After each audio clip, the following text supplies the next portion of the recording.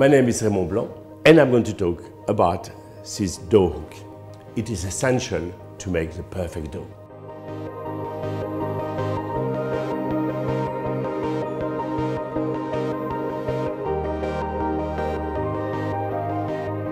Because what it does, it kneads, it pulls, it stretches and twists the gluten to make the very perfect dough.